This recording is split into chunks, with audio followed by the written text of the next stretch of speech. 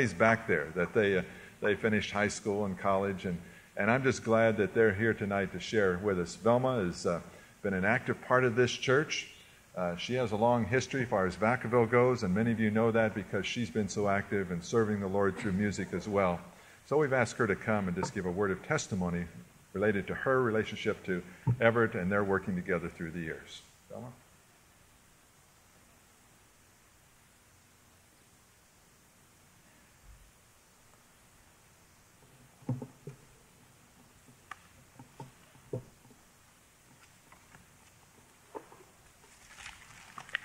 I do love to hear Everett play. I have known Everett many years. You tell by my hair here. I first became I first became acquainted with Everett here in Vacaville, where the Presbyterian Community Church was lucky to have Everett as organist. Here is a program of a sacred concert in that church dated 1939. Everett plays on this program six times. And how fortunate we are to here at Trinity to have Everett ever faithful in the Lord's service. Every Sunday, I look forward with anticipation and delight to hear Everett's original hymn arrangements so fantastically played by him with much feeling and sensitivity of expression. Now, if you do not know Everett, some of you might not, you might not know how fortunate we are to have him. So I will attempt to explain. Everett is considered one of the country's finest theater organists. Everett was staff organist at the Fox Theater in San Francisco for 19 years. That was 1944 to 1963. He often played for audiences of 5,000.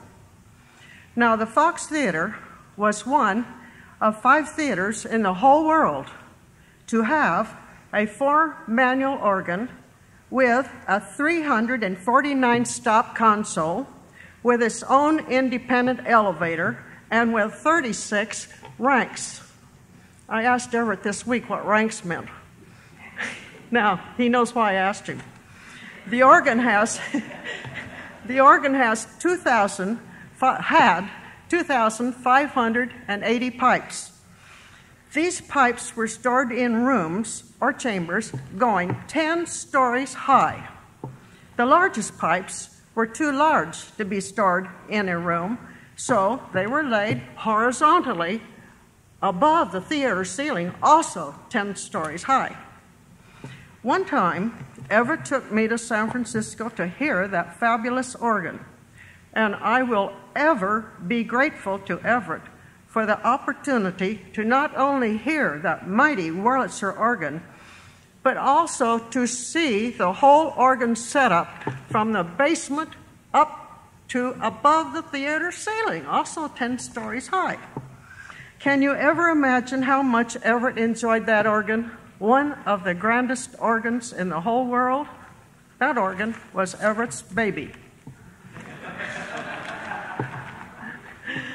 Before the Fox Theater was so unfortunately torn down, recording engineer Frank Killinger worked with Everett to make recordings of that mighty Wurlitzer organ. Then people could buy records like this. A video was also made showing the wonders of the theater, shows Everett playing the Fox Theater organ. It even shows the demolishing of the theater and it will be on afterwards, after the program. Because of the widespread sale of these records, farewell to the Fox and memories of the fabulous Fox, Everett became known worldwide. Now, that's a pretty good honor, I'd say. When I was in Portland, Oregon, at the organ grinder, I asked the organist there if he knew Everett, He said he sure did, and that he had every one of Everett's records that were available.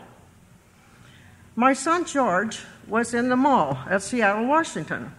As he was walking along, he heard organ music. Having played Everett's records many times, he recognized the music as Everett's playing, and sure enough, he found out that they were playing Everett's records in the mall. Everett has also been featured at other theaters the Orpheum in San Francisco, also the Warfield and the El Capitan.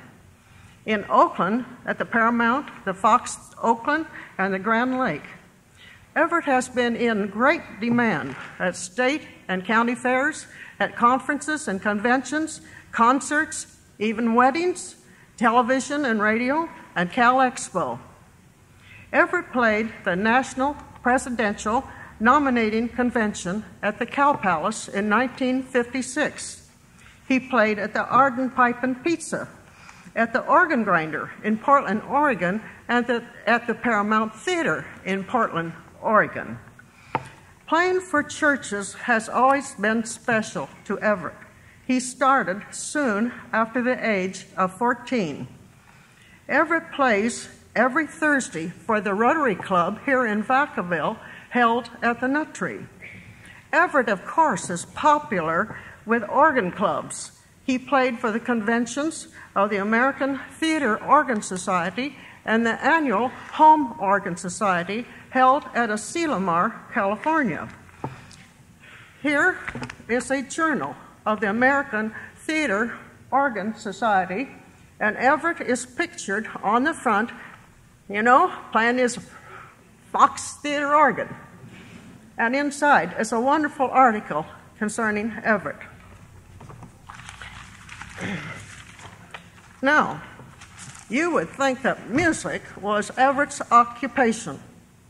But until retirement, Everett accomplished all of his music basically on weekends because Everett was holding a full time, demanding position with the University of California.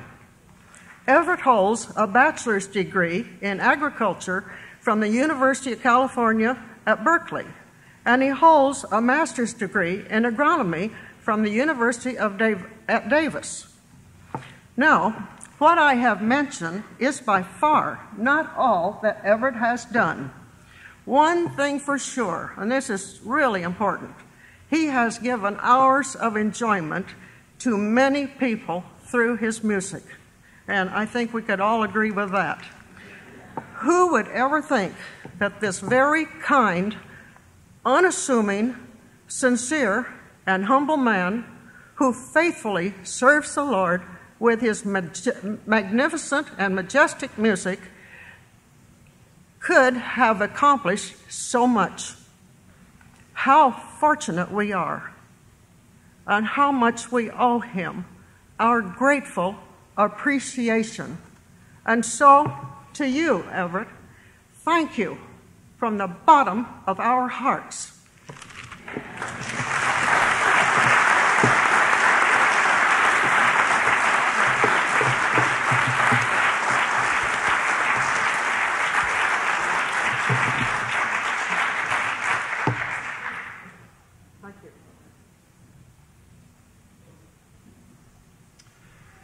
Right, Everett's going to come and play for us again. Thank you, Velma. And then we'll ask Otto Barner to come after he's uh, completed this next number and uh, share a word of testimony with us as well.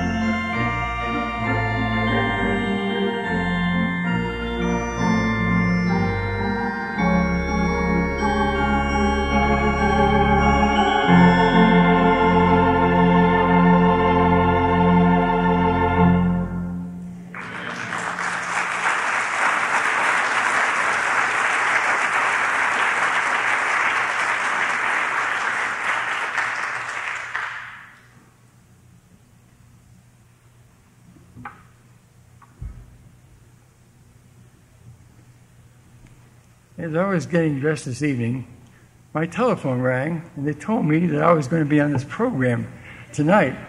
So you can see I'm well prepared. But I remember five years ago when we had the 20 years with Everett, we had some very good testimonials. They were beautiful. One was by Linda Steck, and she told all about the date he was born and where he lived and all the stops in the organs, and uh, she covered everything. And then uh, Debbie Moore was next, and uh, Debbie was telling us what a beautiful man Everett is, and that he, he in organ choir they had a practice, and he he was at all, all the practices, and um, and uh, she said he would also said he was a very humble man and very shy, but when you got to know him, it was a, a lot different because he has a great sense of humor. And then uh, Raymond Ruth was telling about when he was in the service in 1945, he stopped at San Francisco and he happened to go into the Fox Theater. Well, he said he was so amazed at the beauty of that theater that when he stood in the lobby, his chin drug the carpet. And so uh, when he came back two years later, he, he again went to the Fox Theater and heard Everett. Of course, he didn't know Everett at the time. And uh, but they developed a very close friendship with Everett, and I know Raymond, Ruth, and Everett were very close friends. Then it finally came my time to get there, and everybody had given all the statistics and knew everything was going on. And then I said something I'm not ever going to say again. I felt like a mosquito in a nudist camp. I knew what I was supposed to do, but I didn't know where to start.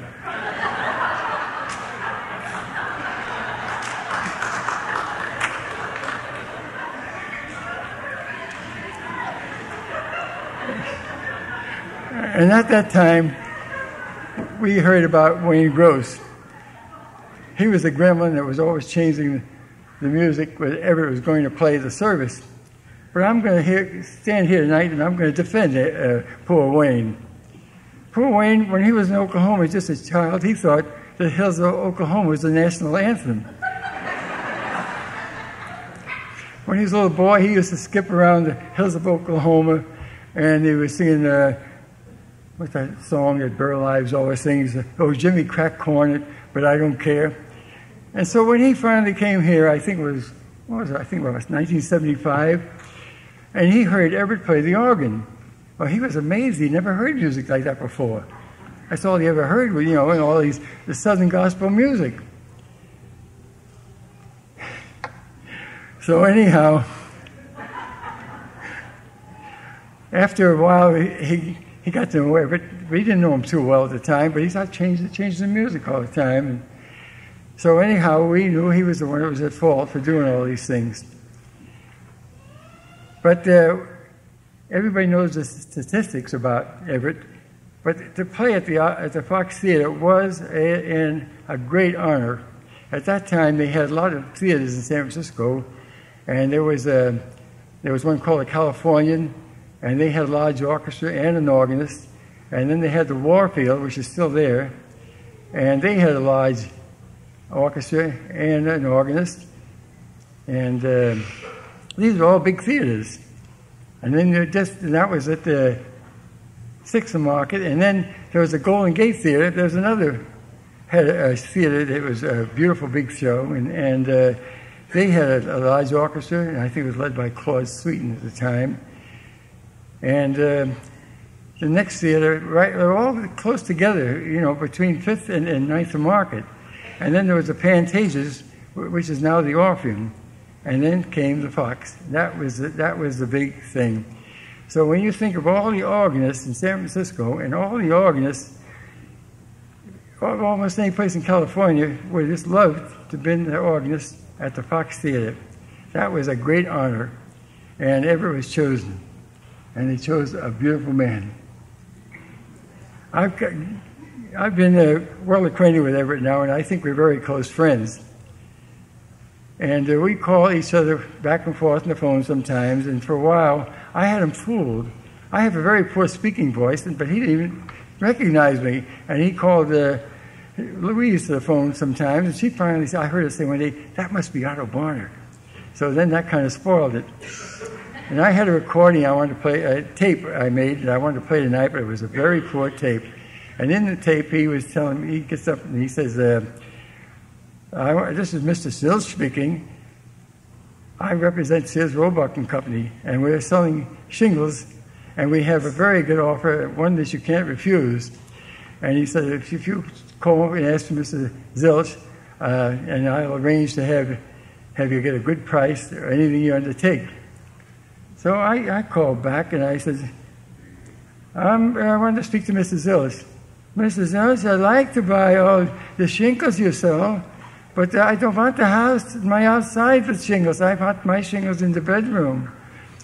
And I says, I only have a little bedroom, six feet by eight feet, and I'd like you to call me back and tell me how much that would cost me. I'd like to know how many shekels that would cost me.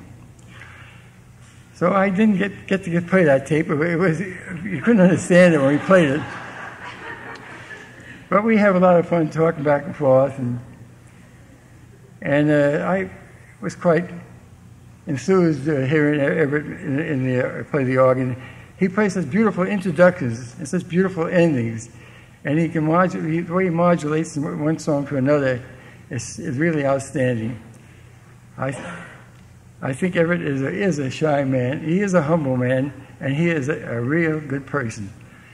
I'm sorry I couldn't give you all the statistics because I didn't. I had about 20 minutes to, to, to do it, and so that's about it. Everett, we love you.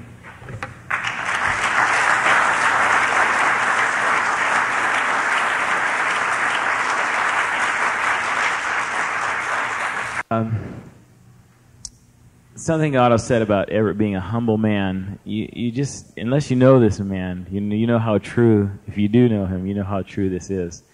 And um, I have to let, let one secret out of the bag tonight, Everett, because, um, you know, when, when, uh, when a pastor struggles for God's will in his life, where God wants them to serve, um, it's, it's a traumatic experience. And it takes a lot of prayer and it's a lot of reinforcement of where God wants us to be.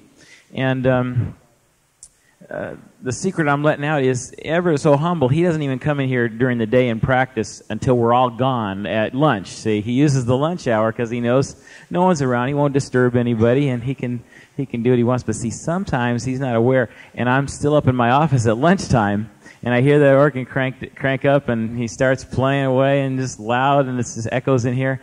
And uh, quite often, I I just had to throw my pencil down and come back out here, and I stand up here, and we just go at it t- together. I sing, and he plays, and no one's around, but we have a great time. And God just confirmed in my mind, I have just never worked uh, with a man like like we have here at the organ, and and what a blessing it is to me as minister of music to have such a wonderful man. Uh, talent aside, which is tremendous, what a spirit to be able to work with you, Everett. And uh, I say that from the bottom of my heart. I thank the Lord that we're allowed to work together. Let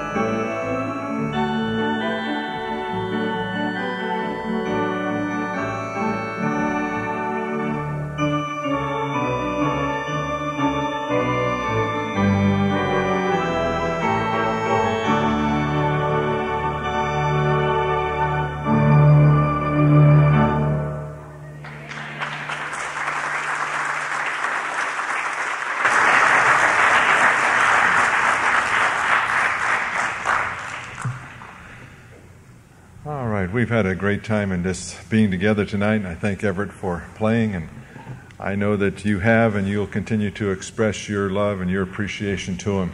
You know, we tried so hard to try to surprise Everett, as far as this evening goes, but uh, we won't tell you how. But somehow he searched and found a bulletin.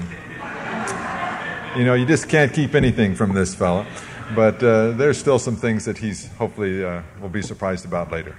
But we're so thankful that we've been able to just be blessed tonight with uh, this time of sharing. Linda's going to come now, and I just want to say for the two of us, when we first came in 1971, I had not heard of Everett, um, as um, I'd known him as long as some of you, but right away we just sensed that we were so richly blessed just to be able to share together. And back in those days, we had a very small Hammond organ, and I think uh, one of the one of them is still in the choir room.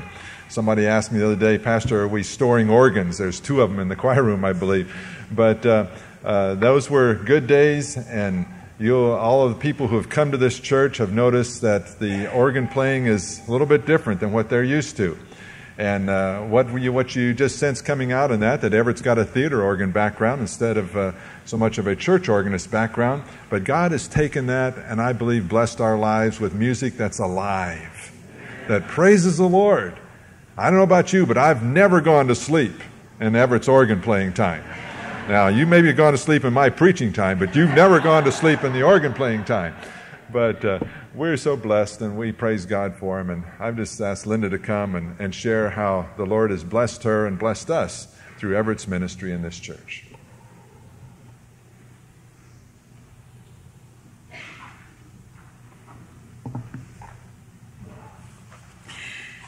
Well, Otto, since you liked my testimony five years ago, I'm going to shoot it to you again.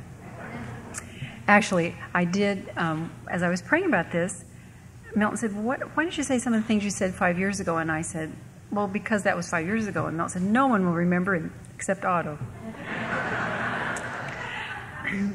but Scripture tells us that music was used in farewells, for entertainment, for weddings, funerals, sacred processions, victory celebration, and dedication services.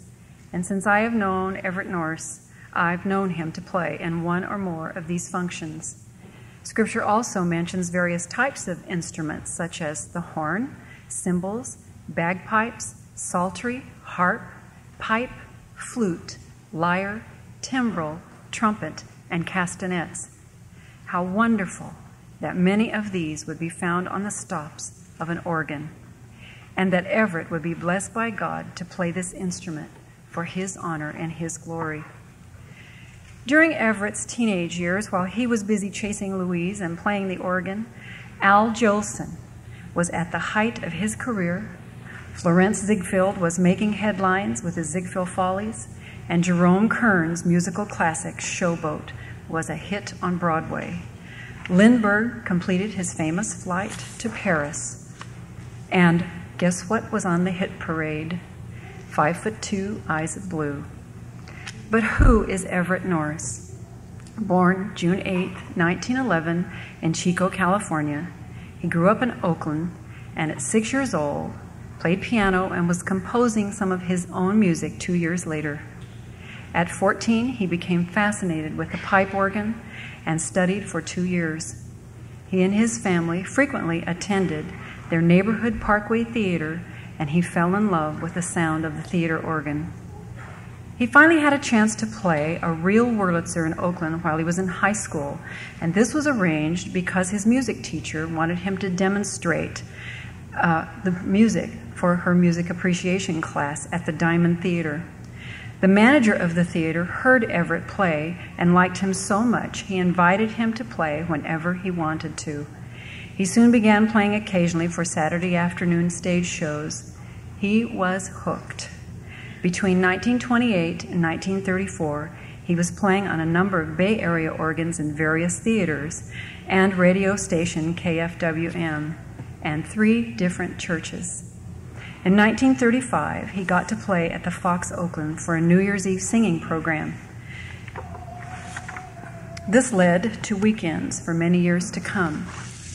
In 1944, he had a very dear friend, C.E. MacDonald, who was managing the San Francisco Fox and offered him the job as a theater organist. The organ was installed in 1929, as Velma just said, at a cost of approximately $65,000. The seating capacity was 5,000 seats. Everett had the opportunity to play with several famous theater organists, such as George Wright, and meet and work with countless others. And in the periodical that Velma shared with you, and Everett has shared with me several times, how the organ would come up from the floor on an elevator. And here was Everett playing. The periodical that she shared with you, called Theater Organ, did a write up on him in 1985. And as I remember, I remember bits and pieces. Um, a man was visiting here in the United States from Scotland and secured a copy of that and the first thing he wanted to do when he got here was look up Everett Nourse. Do you remember that? I've had the privilege of knowing this dear man and his precious wife for years. I know him as a humble man who reluctantly talks about himself or his achievements others would jump at. He is kind and warm and unassuming with a terrific sense of humor. Sometimes he'll call me and he'll just say, Linda, have you heard this one? And it is probably the corniest joke I have ever heard. and sometimes I'll do him the same way. But he is such a dear man, and I've shared this story before, but when he retired in 1977, we were invited to his retirement dinner. Betty, Betty Raymond Ruth and I, uh, Milton and I went together, and we were all dressed up in after five clothes and so on. And after it was over, I think Betty and I were in the back seat and we got the idea that wouldn't it be fun to toilet paper Everett's house? So we went to the store and got a bundle of toilet paper and just decorated it so nice. And Milton stuck his garden hose in his mailbox. And so, I mean, the front porch was just draped terrifically with this toilet paper. And here we were in our evening clothes, you know, and, and so we drove around, just couldn't wait for him to come home.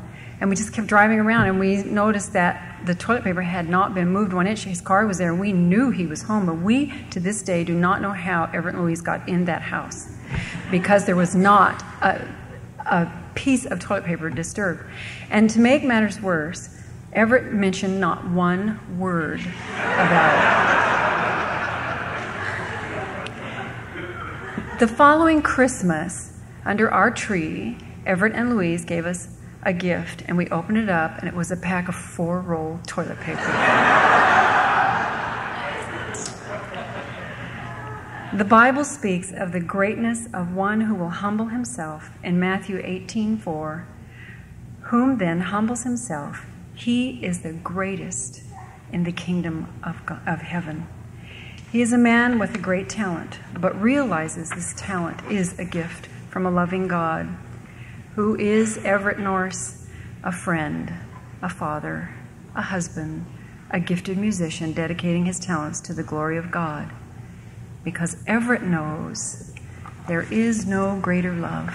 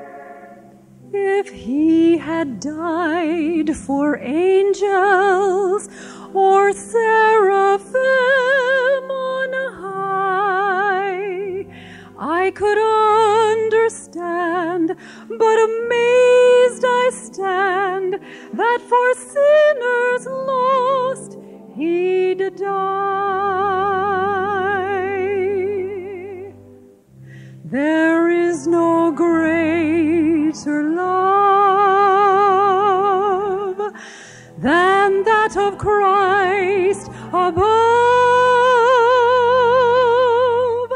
that made him stoop to earth, become a man, and by his death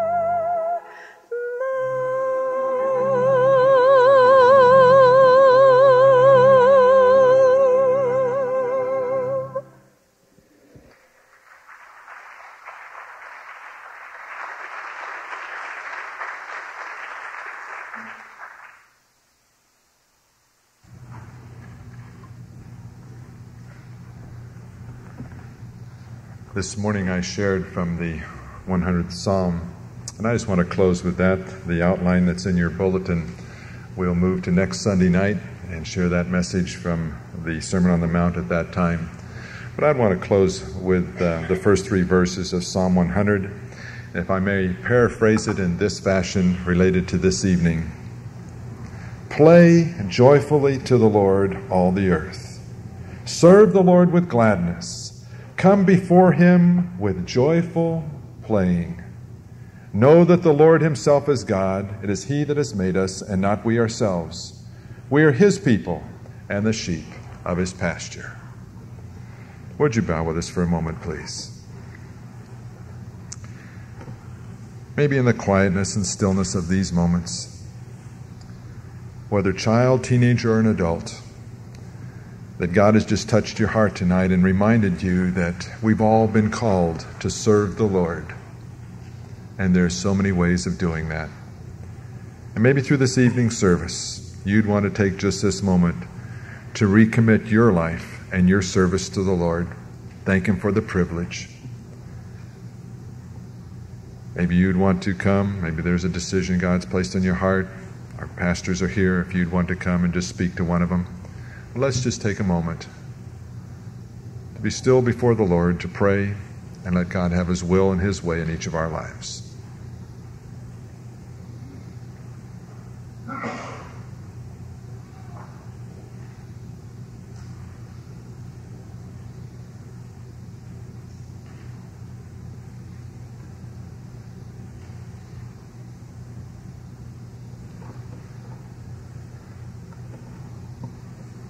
Father, in these closing moments, our hearts are filled with joy because of you. We're thankful that you so greatly, so deeply loved us that you gave your very all for us by sending your Son. I thank you, Lord, for those that so many years ago prayed for Everett. Thank you, Father, for touching his life and bringing him to salvation in Christ. Thank you, Lord, for his commitment and his dedication to you through these years, for his faithfulness as a husband. And God, we just remember Louise often and rejoice in the fact that she's with you. We're thankful, Father, for his daughter Jeannie, and Lord, her her life and her blessing and the blessing that you give Everett through her and her presence here tonight. And God, we want to thank you for blessing us by letting us simply be acquainted with this man and to serve together with him. And Lord, tonight we thank you that we've been able to lift our voices in praise. We've been able to sit and just simply listen and soak in all the great blessings you've given us through music. And for giving one as Everett the talent to be able to share that and the spirit in which you'd want him to share it in. Thank you for each one that's had a part in the service tonight. And I pray we might go from here with a deeper desire, with a greater desire, Father, to be faithful as your servants. And whatever you've given to us, let us use it all to the honor and glory of the Lord. Thank you for this one that's been a testimony and continues to be a testimony before us. Continue to richly bless his life. And together, Lord, as a church, may we continue to move forward in daily looking to you for the guidance that our life needs. Committed, Father, to live for you and to tell for you and to tell for you and to tell for you